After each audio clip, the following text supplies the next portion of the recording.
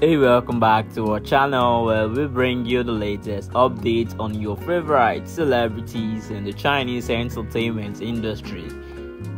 And today we have very exciting breaking news for all the fans of Dylan Wang and Shen Yue.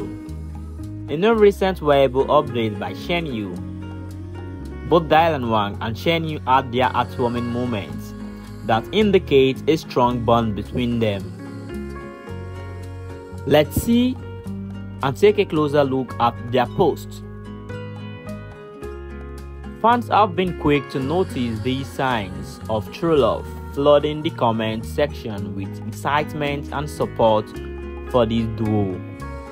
The photo captures a genuine smile on Shen Yue's face, radiating happiness and warmth. And while we have Dylan Wang and Shen Yue Truthfully, have not confirmed any romantic relationship for now.